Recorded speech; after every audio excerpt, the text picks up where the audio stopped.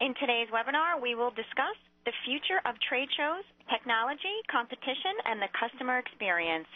Our expert moderator and lively panelists will answer questions during the last 10 to 15 minutes of our webinar, so please join in. Alternatively, you can join the conversation and ask questions on Twitter, hashtag TSNNwebinar at any time. Now, Arlene Shows, Marketing Manager for TSNN, would like to say a few words. Hello from TSNN and welcome.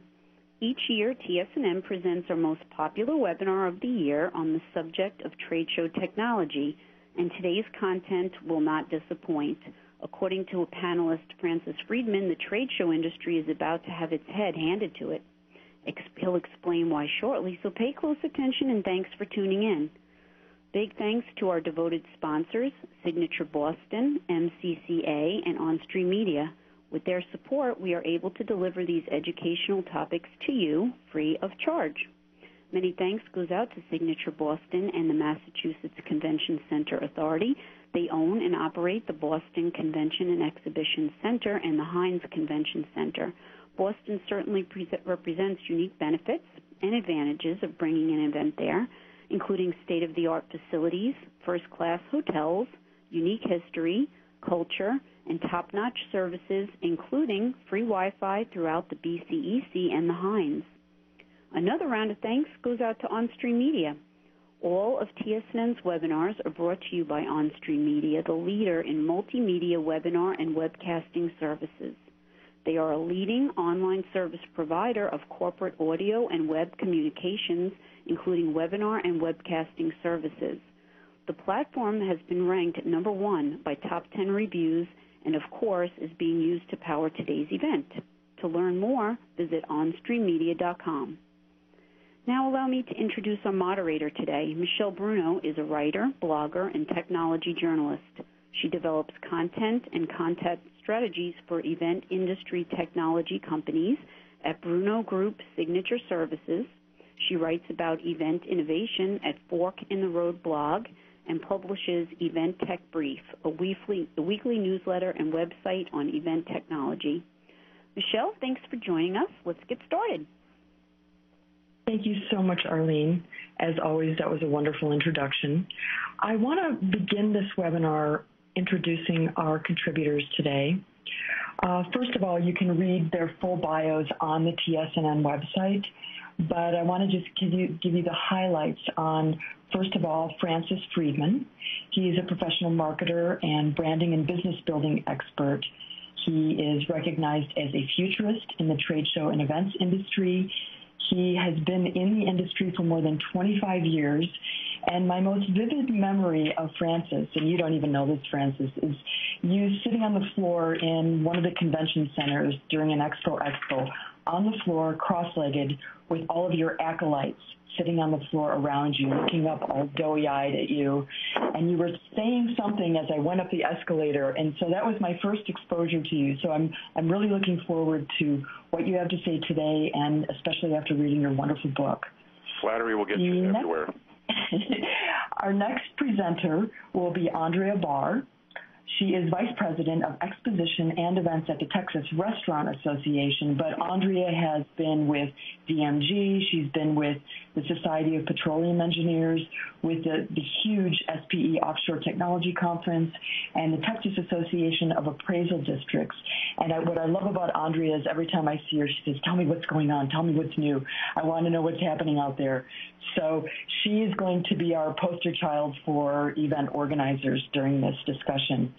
And our last, but of course not least, presenter is Dahlia El Gazzar, who is a speaker, educator, consultant. You can throw everything but the kitchen sink at her, and she does it all beautifully. She also picked her own title for her company, her position at her company, which is Dahlia Plus. She's the brand visionaire, idea igniter, and the net weaver at Dahlia Plus, but she also does these really cool tech bars a lot of our industry conferences and elsewhere where people can come in, learn about technology, ask questions about technology, and actually sometimes touch it like this really cool petting zoo. So I'm going to move on to the actual discussion, which um, is going to go like this.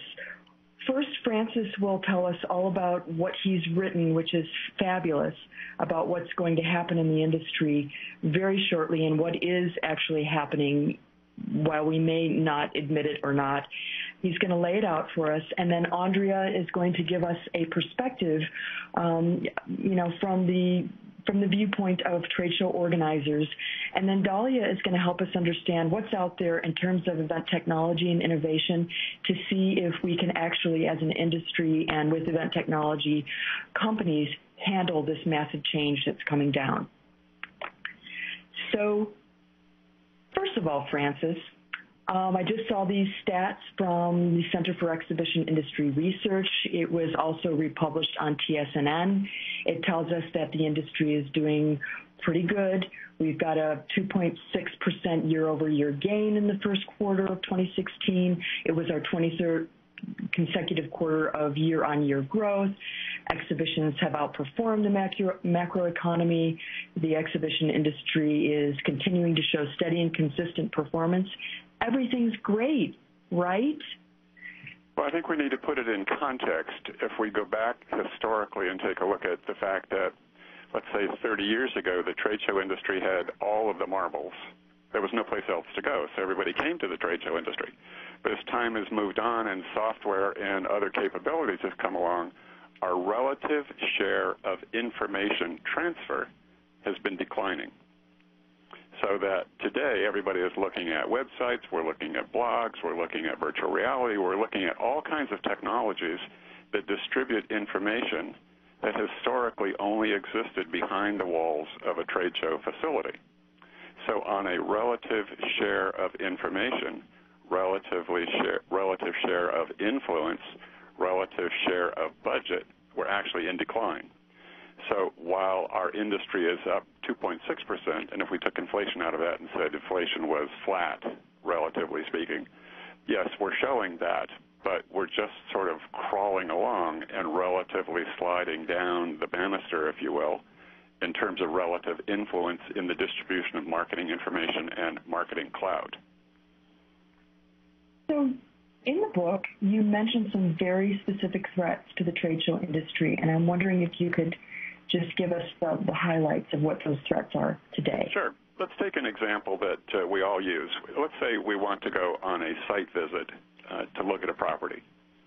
So it might cost the property $1,000 to host us, and it might cost us another $500. And in doing the site visit, we would engage an airline, a hotel, cabs, meals, entertainment. But let's say next year that site has a really, really terrific virtual reality tour of their facility. Question Are we going to get on an airplane and fly there or not? So if we don't go there, the $1,500 for that site visit disappears off of our books. The time out of the office stays. The efficiency for the site stays. Everybody walks away happy. But in terms of our industry, airline, hotel, travel, being on site to physically see the property, that's gone away. Now, do we say that's a win or do we say that's a lose? You also talk about exhibitors themselves being a threat. So it's sort of like this enemy within scenario. Can you just touch on that a little bit too? Sure. Salesforce.com used to attend and participate in public trade shows. Salesforce.com decided they wanted to do their own private trade show event they had 135,000 registrations for their event off their customer base. Let's say 50,000 of those people actually showed up. And 50,000 of those people spent two days at Salesforce.com, private event, not a public trade show. That's 100,000 person days off of public trade show floors. And let's say uh, that those person days are worth $1,000 each. Okay? There's over a million dollars. I, I haven't done the number in my head, but there's millions of dollars at stake that did not get spent on a public trade show floor. And if we look at all of the technology companies who are doing their own events that way, same way, those are millions and millions and millions of dollars that do not come into public trade show producer coffers. it goes to the vendor community, and that's very viable, but it does not come to the owners and organizers of public trade shows. So I'm going to throw a poll out there. Um,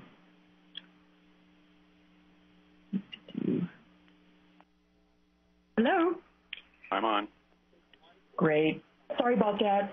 Somehow I got disconnected. Anyway, um, the poll results should be in. Are they showing on the screen? So, Francis, you're still here and you can hear me? I can hear you. Okay. I'm not sure why. Um, okay, the results are here. Let's just keep going. Okay, there you are. We're talking about uh, the attendee imperative. Okay. Um, why do you feel that the focus should be on attendees in okay. your new paradigm? Let's do this. Let's take a look at it. Let's look at my background. My background is as a professional packaged goods marketer. My mm-hmm. first executive, my first position, which ultimately ended up as an executive position, was managing major consumer packaged goods brands in commodity categories like coffee, popcorn, mustard, and so on. In those categories, the competition is straight across the board and very intense. So if we transfer that same kind of thinking, which was a, in essence a 24/7 show, in other words, those products were on the shelf 24/7 competing with each other. The win was that customers picked those products up and took them home. So mm-hmm. transferring it to our industry, if we had a hall filled with exhibitors and nobody showed up, would we have a second show? No. Conversely, if I had a hall filled with buyers and I went out to a group of exhibitors and said, "Hey, I got all these buyers. Are you interested?" Absolutely, I could fill that hall. So what's happening now is that the electronic community is competing for eyeballs, for the attendee, for hearts and minds. And if we look at the different models, and I'll just take a moment here, the trade show model is we are we define ourselves as as organizers. In the public show model, they define themselves as producers. In the concert world, they define themselves as promoters. The website community, the website uh, industry defines itself as building community or tribe. So, and in that case, when they then sell whatever they sell and decide to produce a trade show or a public event of some sort, they bring their community to that event. Mm-hmm. And because they already have the community of potential buyers and interest people who are interested, it's very relatively very easy for them to sell exhibitors who want to be in front of them. The perfect mm-hmm. parallel model for us here now is the hosted buyer event because the producer of a hosted buyer event says, I have pre-qualified buyers. My job was to pre-qualify buyers. I have them. Are you interested? And mm-hmm. certainly mm-hmm. they're then able to bring sellers into a room who might pay them. I'm just going to make up a number. I don't know that this is a real number. I'm just making it up. Lots of dollars, far beyond the booth cost, to have a half an hour presentation to a pre-qualified buyer. And let's say that that uh, organizer brings in a hundred pre-qualified buyers. That seller could walk out the door with millions of dollars in orders no wasted circulation, no wasted time, no wasted anything. So if we switch our model from organizing booths on a trade show floor to being the leader or the builder of branded product that attendees want to buy, we will have no problem convincing marketers and advertisers that whatever it is we have to offer in our individual show is worth their devoting the budget to it and supporting it completely. What we hear now is, I need more attendees. And the, the book goes into long discussions about value and things like that, but I'll stop right here. if I had an army of attendees, I could sell all kinds of booth space. Let me put it that way very clearly, very cleanly. Great. What's the modern digital trade show model? It's a branded model. So if we start off by recognizing that our show is a product, it's a branded product, a branded product, we then can take a look at the configuration of that product. So for example, let's compare fast food brands. Let's compare a Starbucks to a Dunkin' Donuts or Starbucks to a 7. Let's compare Starbucks to 7-Eleven. Mm-hmm. Starbucks has positioned its brand as a community for which it charges very large prices, relatively speaking, for a cup of coffee. People Mhm. come there, they stay there, they hang out there, they talk about it, they go through all kinds of machinations, and they have a very, very large community. 7-Eleven sells coffee also, but it's a transaction. You walk in, grab your coffee, walk out. Different kind of community, different brand, different brand attributes, different expectations of that brand. So if we start the modern digital trade show viewing itself as a branded product that is then digitally centered, in other words, all of the fa- all of the functioning of the brand is through digital capabilities, and it's focused on our attendees, what it delivers is high value content. It, the content is value rich. People want it. It's intensively marketed, and we make more money. Starbucks Mhm. makes a lot more money on a percentage basis than 7-Eleven. Mm-hmm. Starbucks, So- in its own way, is an MD is a modern digital trade show in its own way. Uh-huh. So you talk a lot about in the book, as you just have, about uh, trade shows becoming brands, and that now trade show organizers will have to sort of market their their trade show as a product and as a brand. Mhm. And you know, you you go so far as to say the the trade show manager might have to be a brand manager, or we might have to get rid of trade show managers and just have brand managers. Talk a little bit about that. That's kind of crazy. Well, actually, we, we are brand managers. We just don't know it.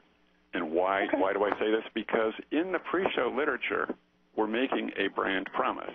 We say to the Mhm. exhibitors, if you come to the show, we're going to deliver such and such and so and so. It's a brand promise. We say to the attendees, if you come to this show, you're going to get such and such and so and so.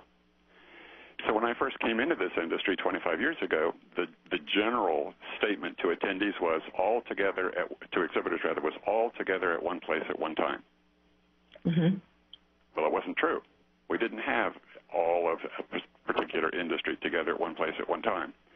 But Mhm. now, as copy is being written by different shows, and more research is coming to bear on the shows, shows are using more research, the brand promise is becoming more refined.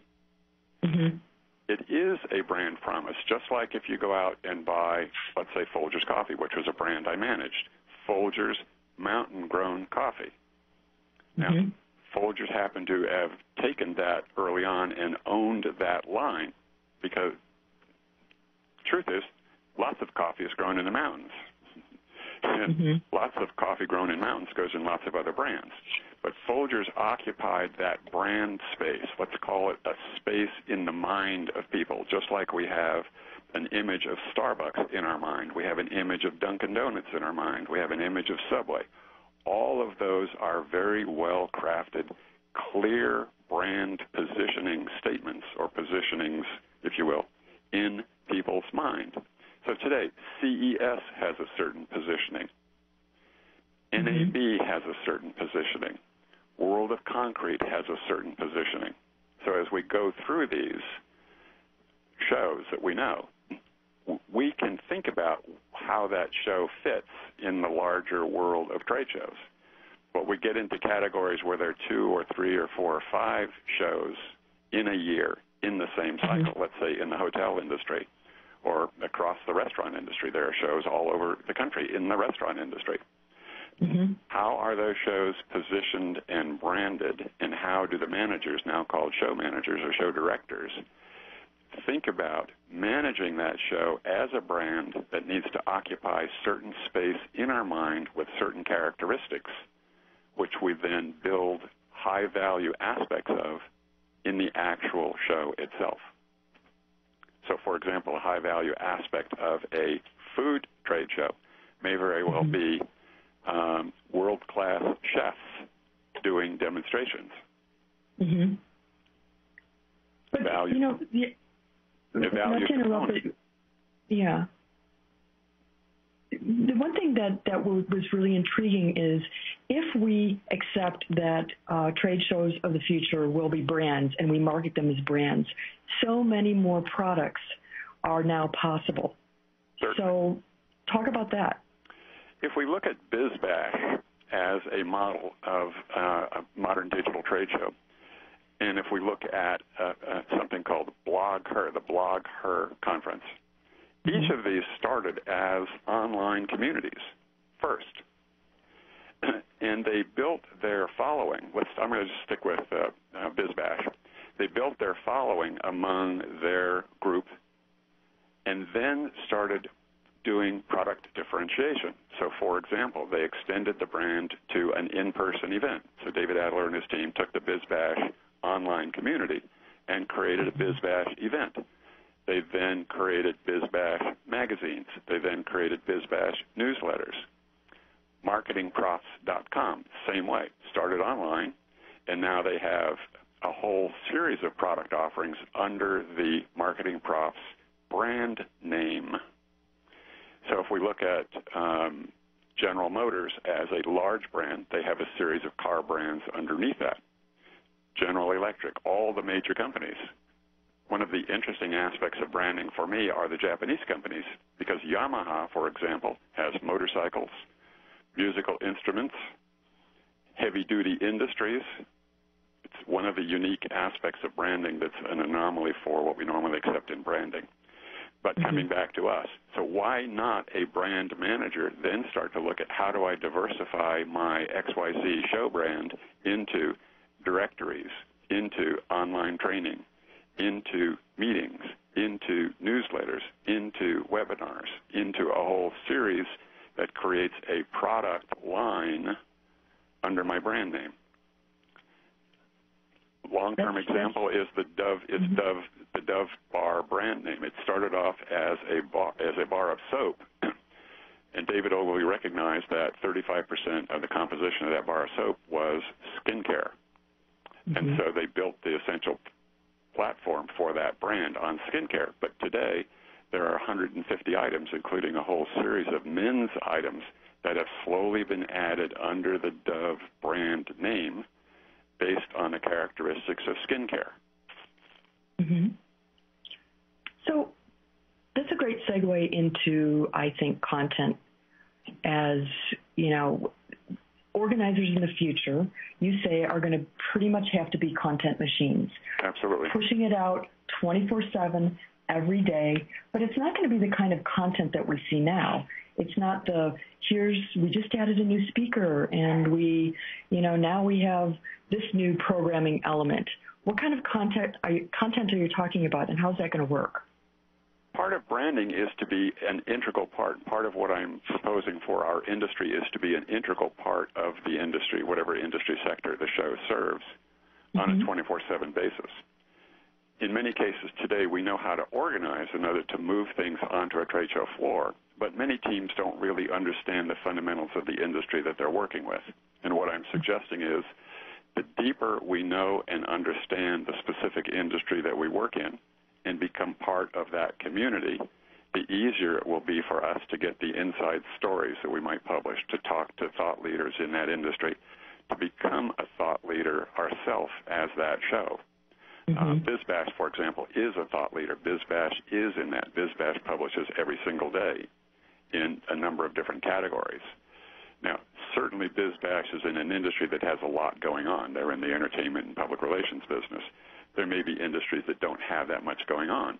So the fallback position might be interviews with key exhibitors, or I'm sorry, key executives in that industry, government mm-hmm. officials, so that the show demonstrates in the, let's say, 10 year future, in the Internet of Everything, it is part of the Internet of Everything related to that industry.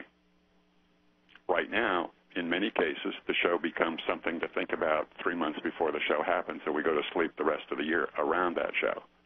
Mm-hmm. Given the competition that's going to take place through virtual reality and other technologies uh, not now invented, and as we look forward to what's called 5G, which is the next step beyond 4G communications, Mm-hmm. 5G is that much faster, will allow visual to go that much faster. I mean, there's just this whole series of things about 5G that will totally disrupt the way in which we communicate with each other right now. And if we also look at the fact that our exhibitors necessarily do not want to spend any more money than they have to, and if, let's say, they're doing 10 shows right now and they could cut that down to eight and make up the two show difference through um, electronic communications, they're going to do it. Mm-hmm. They're going to do it. Certainly, the 10 by 10s and the 10 by 20s need trade shows in order mm-hmm. to have access to market. But the public trade show industry cannot live on 10 by 10s and 10 by 20s alone.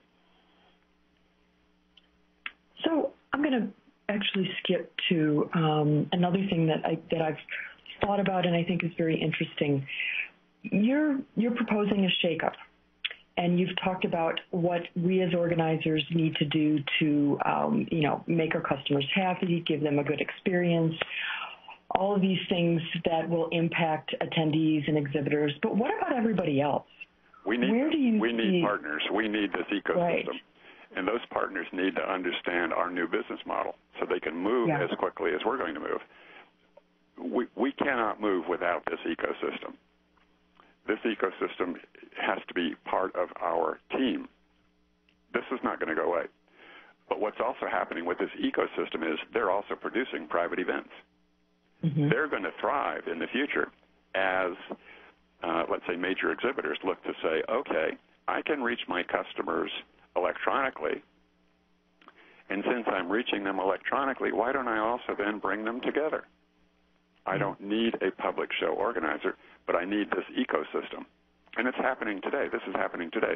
Somebody produces the developer events for all the major technology companies, even though they're hosted privately by the technology company. Somebody produced the Salesforce.com private event that did not end up on a public trade show floor. So this ecosystem, I think, is going to get stronger as time goes on because they're going to do more non-public show events. So the switch is going to be, I create a community off of my corporation. I'm just going to pick GE just for an example. So GE yeah. says, as part of our total relationship and total brand awareness building with our universe – we're going to host them in a series of public events around the, around the year and around the world. For that, I need a Freeman, for example, or I need a GES, or I need whoever else, plus an AV company, plus, plus, plus. This ecosystem that you have on the screen will do very well. My concern is the public trade show organizer will lose that business. Mm-hmm. So I want to I want to shift the discussion to Andrea, our poster child for the event organizer community. Andrea, where's there's going to be a lot of change. We are going to focus on brands. There will be organi- organizational structure changes, staffing levels, job skills, work processes, the pace at which we're accustomed to working. It's all going to change, and it's all going to require additional investment. So where's the money going to come from? That is such an excellent question. Um, we are facing this in our conference right now is um, the finding the the audience, and if you get the audience, then the uh, exhibitors will come, and then finding out we're we're investigating that right now as to if that's going to be from the exhibitor or from the sponsor or is it from the attendee, and we're we're struggling with that and learning through that process today. But do you think you think you'll you'll have to shift budget from you know is it a Rob Peter to pay Paul sort of scenario, where you have to bring in new revenue streams, or is it all of the above? All of the above. I think everything has to change. The way we are thinking about putting on our shows right now has to change, and in that includes um, our revenue streams and, and what we offer the attendee, what we offer the exhibitor, every everything's going to have to, change from what we're used to thinking. Mm-hmm. So another point that um, Francis makes in the books in the book uh, is really targets these fundamental changes in the roles of an operations person and the role of a salesperson. So operations is now going to have to be also concerned with the technology, the software, the Wi-Fi, the on-site data collection, in addition to all of their other operational duties. And I guess I'm talking to you, Andrea, because from an operational perspective, you've got to take on all of this new stuff. Likewise, sales, they're selling new products. They're selling a, a wider, you know, breadth of offerings. They have to work more closely with marketing. They have to work with communications and the technology departments. It's not just going to be dialing for dollars anymore. So, you know, how is that going to impact the way that uh, event organizers behave, and how are you going to approach these changes tactically? Event organizers are have always had a lot to do and have always had a lot on their plate and now we have to be a a master of all trades you mm-hmm. really have to know a little bit about a lot of things and be and surround yourself with partners be they internal partners or external partners that can give you the um, advice and experience you need to accomplish all of these things and uh, yes you your sales team and your marketing team are really go hand in hand. Everything we do right now goes through both departments. If sales puts it out, we run it through marketing because we're again that brand. We literally just had an entire brand meeting that everything has to be the brand and what is that mm-hmm. brand and who what is it that you're trying to to show yourself to be to the world um, and yes it's about your partners internal and external and it's about having really great places to go to get information if you don't want to go to school to get a degree in all of these 15 million things that requires to run mm-hmm. a great show. Mm-hmm. If there were a school. Right, if there were, as if. Yeah, and Michelle, this comes back to um, the initial diagram that you showed, digitally centered. Yeah.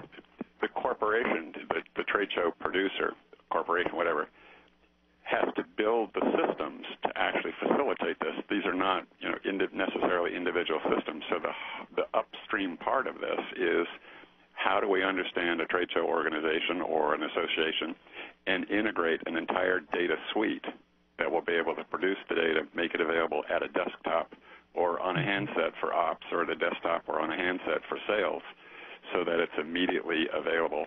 And that's a big step ahead. That's a three to five year step ahead to be able to mm-hmm. have an integrated suite of products that capture the data, prepare it in a form that people can use, and then continue to track it and, and keep the data up to speed so that the company can operate. Well, it sounds to me, Andrea, like it's going to be sort of this, you know, two steps forward, one step back. Um, there might be some failures. How are you, as you know, as the trade show organizer representative, going to manage? We don't like failure.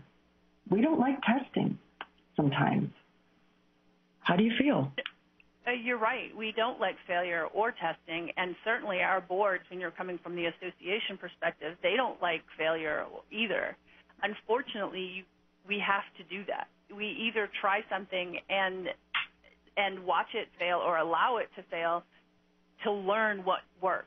And in, if we are not constantly improving, then we will lose our audience because somebody else is constantly improving. If we're not constantly branding ourselves and, and looking at what our our attendees want, what our exhibitors want, there's so much competition out there that we will lose.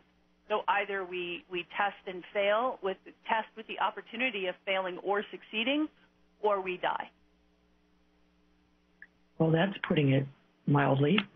well, so, I, I just suspect that if if we I, I couldn't agree more. I, yeah. Now you know why I wrote the book. Now you know why I wrote the book. She's just said it perfectly. That's why I wrote the book.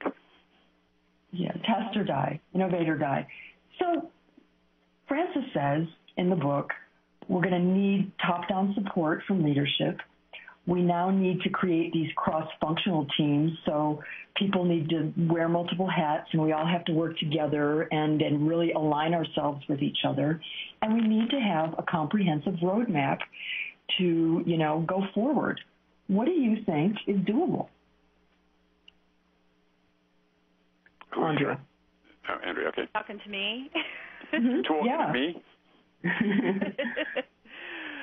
wow. Um, it's really going to create require a great deal of education up. So again, to, of the many hats that a show organizer gets to wear, we have to educate our board of of this new model. We have to educate our leadership of this new model, and associations in particular have a, a propensity to dislike radical change. Um, so it will require a great deal of education and patience to repeat here's where we're going and, and why here's why we're going there and here's why that investment is needed and and why we need to have these partners and continue to evolve and continue to educate our leadership and our teams to keep up with that pace. Well, you know, I hear you saying that, but do you think that, I mean, we're not the only ones talking about this massive transformation. Do you think leadership is listening right now? I mean, I know we have to continue to educate them, but I mean, what are they waiting for? A lightning strike. Yeah, Elizabeth, Elizabeth Kubler Ross, the doctor who studied um, death and dying, yeah. has five stages of that. The first one is denial.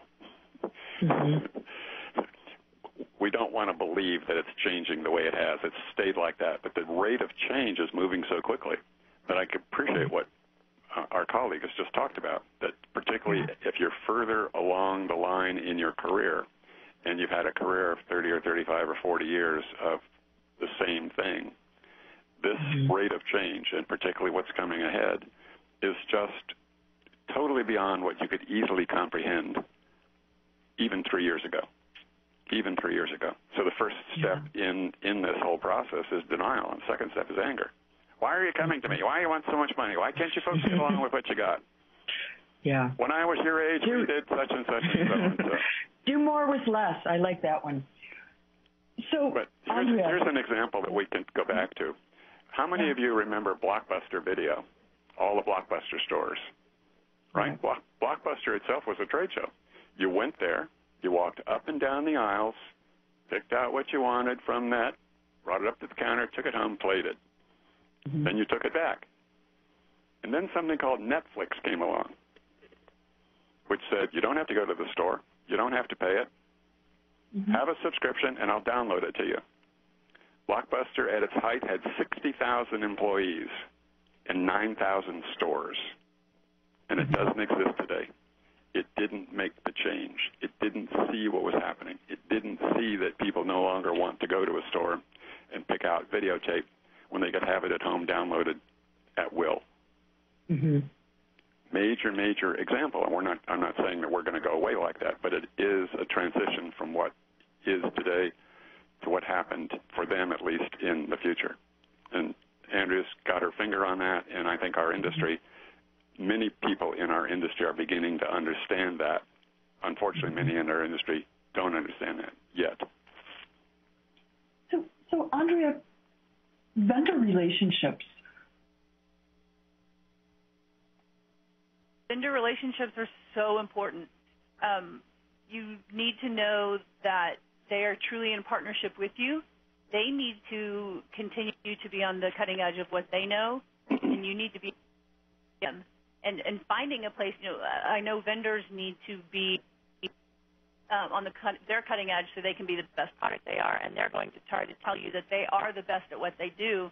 So again, um, organizers have to find out really is my vendor the best one out there, and in addition, that's a partnership. You need to push your your vendors to be the best that they can be. Know on your own, have some sort of knowledge that your vendor is pushing to be cutting edge and that they're not going to be outdated in two years and really grow together and make that partnership because you each require each other and you you must communicate with one another and really really move forward together cutting edge. Lost michelle again. So i'll keep talking. Um, i yeah, will also say that that um, that with our partners, we rely on them greatly because they do so many shows. And what have you seen and what have you heard? and um, we we work with their knowledge and what they've seen and what they've experienced as well. Francis, what do you? Yeah, absolutely. If the vendors aren't keeping up, and you may very well have to change vendors because your needs may outgrow their capacity and their capability. They too have to hire the best of breed. And in many of the, certainly in the data and electronic skill sets, a lot of those skill sets are in short demand, or short supply rather, with high demand, so that the staff that they have may leave and go to uh, someone else who will pay them more money because they need that particular skill. So, and you're absolutely correct. You've got to stay on top of how skilled your vendors are, and are they providing you with thought leadership, and are they pushing you to reach to the next step as they see it being done somewhere else in the industry or as they've thought about it, and they want to take you to that next higher level.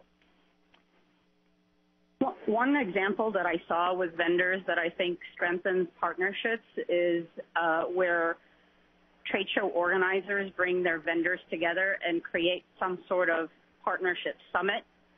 And to be honest, this becomes like a brainstorming session where there's creative ideas to challenges that a trade show might have or that they want to take that transformation, so to speak, to the next level.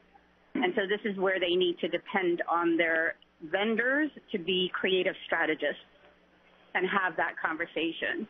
And I think trade show organizers as well as associations are doing it more and more with all their tech vendors or partners. And it's becoming to a point where actually this would might be the only time that the tech vendors speak to each other. So it strengthens that data ecosystem that, for instance, that you talk about in your book. Mm-hmm. So there's a lot of advantages to having that happen. The other piece part that I would suggest needs to be added in here are not only the vendors that produce the show, but um, strategic planning vendors, people who are in market research, who are looking out into the larger community.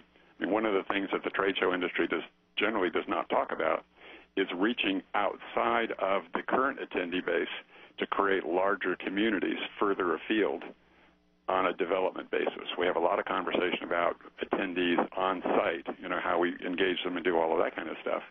But how we don't have a lot of conversation about how do we expand the potential universe who might then become attendees. It's a whole other conversation, and I talk about it in the book, and we don't have the time to go into that at the moment. So, Francis, you, you do talk about the importance of customer experience and design and management. Right. Can you kind of just run through this list for sure. us um, before we ask Dahlia about what's out there for on-site experience technologies? There's a new job coming out called Customer Experience Design Manager. It goes into neuroscience. It goes into the way in which people consume space, the way in which people think about things and pay attention. It's very neurologically based, but it then translates into how do we lay out a trade show floor? How do we map the floor? Journey mapping. These are things that are coming along. So the question that we want to look at is the whole experience. In other words, we need to find out before people get there what is it they want and what are they willing to pay for. People will tell you that they want lots of things, but when you actually nail them down, you'll find that maybe 9 out of 10 they're not willing to pay for we need to produce events that people are willing to pay for. And they go, I'm willing to give you X amount of dollars and Y amount of time to be there. So the examples I use with clients is $1,500 uh, cost and three days of time. So when you go to your boss and fill out a request for travel, is that show or is that event or conference or whatever else it is worth $1,500 and three days out of the office? The way we would know that is that the programming is focused and it's high value. It fits. It engages the opportunity. So it also provides the opportunity for engagement. So if I go to this event, I'm going to meet six other people who very well could be a partner of mine. It's the community. I can network in the community. Plus, fun is an important part for millennials. We talk about uh, uh, games and things like that. Fun is a very important part for these audiences coming along and then we need to be able to demonstrate an ROI. When that attendee goes back home and the boss says, What did you get? They can go, I met this person, I saw that conference, I learned about this, and here's how I can apply it back on the job. That's part of the high value component of producing what we're going to produce as we go forward. So, Dahlia, we have this sort of laundry list of on-site experience technologies to make it fun and compelling and rich and make people want to come. And we've talked about some of them, you know, recently, and there are others that are coming down the, you know, pipeline. But where are the technology providers at with this list? Are there products out there? Are they getting any traction? What say you? Well, I mean, this is a laundry list of, of fun and as well as interactive technology, and they definitely should be part of the event experience. Whatever the event is, you know, these these type of technologies, the drones, the virtual reality, holograms, all that you see on this list, they definitely exist. Um, I always keep the example of the Minority Report movie uh, mm-hmm. Tom Cruise and all of that, and that was 14 years ago. Not to say that how old we are or what have you, but um, you know, the the great thing about this list, Michelle, is that it it definitely exists, and they are definitely getting um, you know involved with events as well as creating experiences.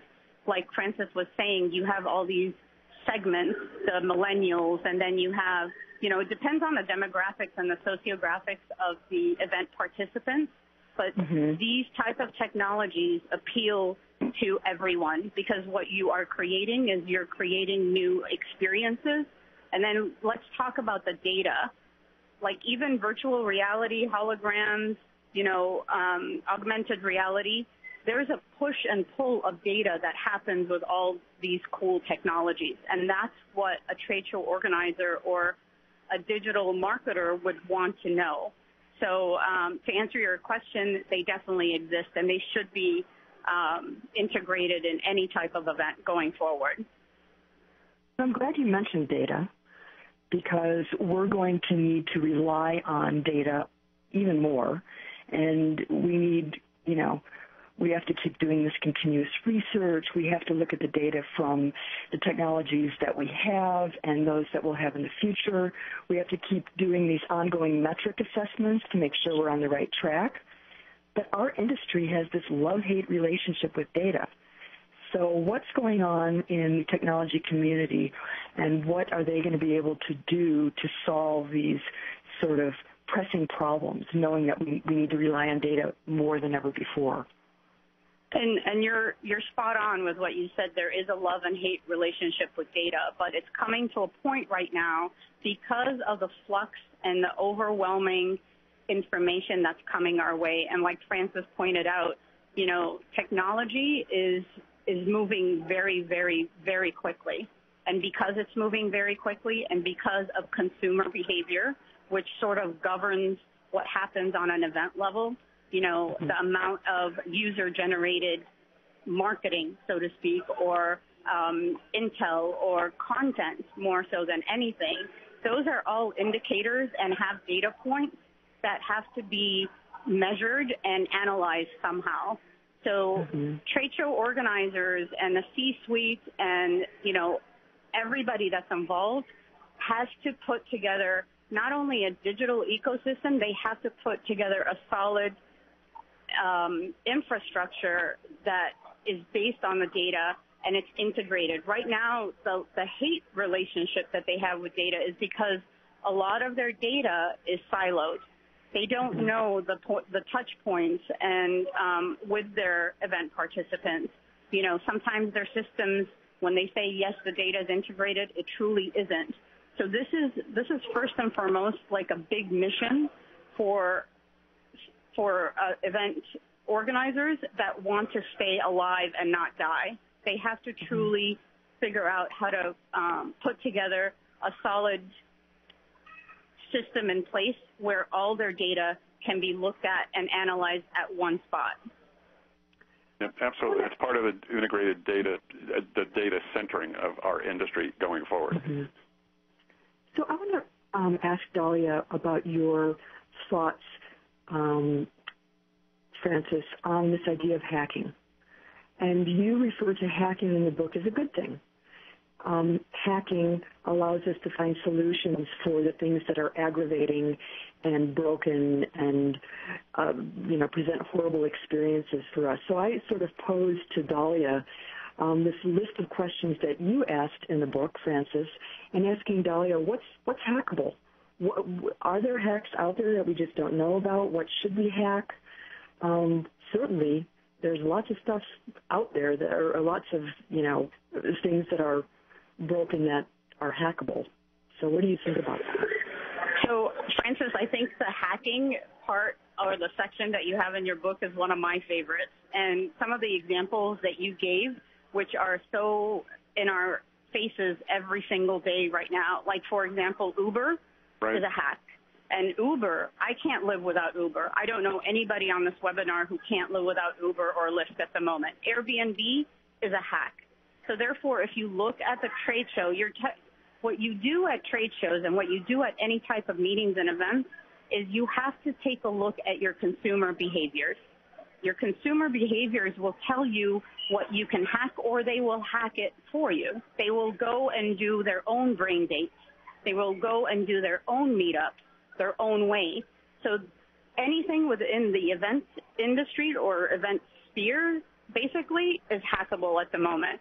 One thing that I would say though is with the hacks and with all the technology that's happening at the moment is one, it's not only like what um, Andrea was saying, you have to educate the C-suite or the internal teams. Truly, you also have to educate your event participants on the technology that you are introducing.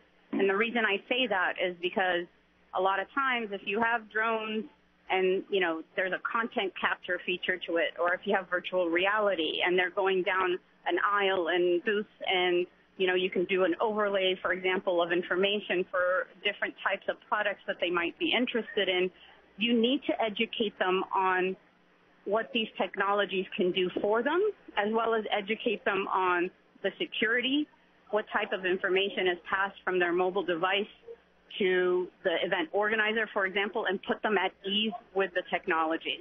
Because then you can implement more on site. And, you know, talking about a hack, trade shows the way they are, 10 by 10s, 10 by 20s, 40 by 40s, that's hackable. People right now tend to gravitate to tech playgrounds. They tend to gravitate to pods they tend to gravitate, gravitate to self demos. If you put a playground together and a bunch of drones and someone's having a race, that's a hack. The drone doesn't have to have a 10 by 10. The drone company doesn't have to have a 10 by 10 to showcase what they can do for the event participants. So this is where the creativity just jumps in and you use technology to make it even more fun. It sticks more. It generates more user content and that creates the buzz and your event marketing gets even stronger and stronger for events to come.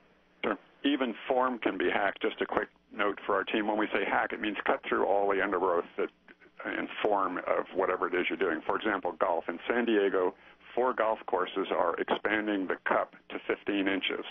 Why? Because millennials don't have the time to practice to get their game high enough to be able to spend the time four to six hours on a regular course trying to put a small ball in a small cup. With a 15-inch hole, they, a cup rather, they don't have to spend the time practicing because they don't need to be that accurate, and they can cut the time of the game down, a, a match rather, down to about three, three and a half hours. Also, they can play soccer golf and frisbee golf. So just another way to hack form and rethink things. Well, Francis, I'm I'm going to leave it to you to sort of give us the industry mandate. And I want to let everyone know I, I realize that we've come to the end of our hour. We will answer questions for those people that still want to ask them.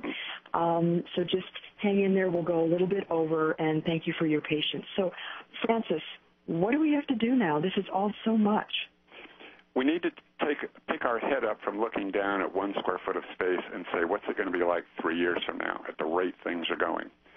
And say to ourselves, if I were to start fresh and considered myself a website or a web community, what would I offer? So I'd certainly have content in order to keep that web community running. I'd certainly have to have things of interest to talk about. And I'd certainly have to have people of interest and interesting to get everybody together. And I would use that as the guideline and then say, okay, if that's the case, what are the tools that I need to actually do that? And go out mm-hmm. and find those tools. Break the rules, think new thoughts, push further ahead and say, what would it take for me to want to consume that? If I went into a store and looked at things, what would I actually want to have to make it fun for me? And if I wanted to do that for my father, who would be that much older than I am, what would he need? How would I need to talk to him? And if I wanted to talk to grandpa, how would I talk to him? And it's that kind of thinking that allows us to then at least make some segmentation in our thinking and say, okay, for my group, let's say up to 35 year olds, I need to have these kinds of neat, little, interesting kinds of things. And for the 35 to 50 year olds, I need to have these kind of things. And for the 50 plus, I need to have those kind of things. And if we do it that way and say, what would they be interested in? It's like giving a gift at Father's Day or Grandfather's Day or Christmas. You want to give them a gift that everybody opens the gift and says, wow, that is the greatest thing. How did you know I wanted that? And if we use that, that analogy. I wanted that. How did you know? And then figure out what the tools are. Will be very will be very well served going forward. Mm-hmm. So I wanted to take some questions. Uh, I don't I don't see them appearing in my screen though. I see four questions in the red box, and let's see what the questions are. Go for it. Um. Hmm. Quite truthfully, I have no idea how to open the questions. Let's go to, we've got poll, questions, material, speakers. Michelle, this is Arlene from TSN. Yeah. You, you have one question, I think, handy uh, nearby, but otherwise we're good. Would you would you um, mind reading the four questions that are there? Nope. Those were technical questions. So People oh. can email questions, though, directly to any of our mm-hmm. panelists or the moderator, or they can use hashtag TSNN webinar, and we will get those addressed. Um, otherwise, maybe we can just move to the contact page and thank our sponsors, and the recording will be sent to everybody who has registered. Yes, thank you so much, Francis, Andrea, Dahlia, and of course, um, thank you to our sponsors and hopefully you've gotten a lot out of this presentation. Francis's book, um, quote me if I'm wrong, Francis, is coming out the end of July, beginning of August. I urge everyone to read it.